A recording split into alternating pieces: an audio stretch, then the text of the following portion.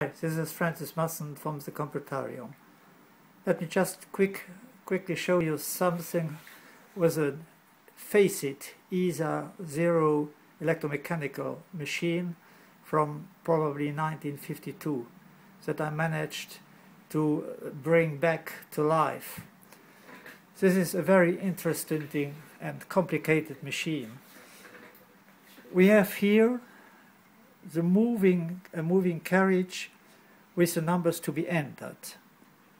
So let me just enter 888 and you see this number showing up here. We will transfer this number to the result register which is here and I'm pushing add. Well, 888 appears here. We made one operation and this operation counter shows 1. Now, let us add a 111. That will not be too complicated to check.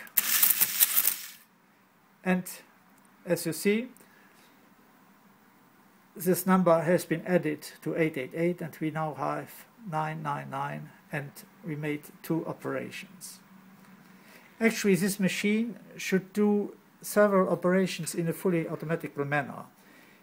Addition, but also multiplication and division. As the machine is just beginning to come back to life, I am not trying too much of that. But let me just show you now the clearing of the different registers.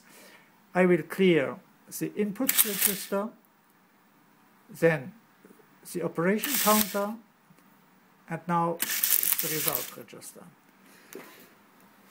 The machine is a bit heavy, but still transportable.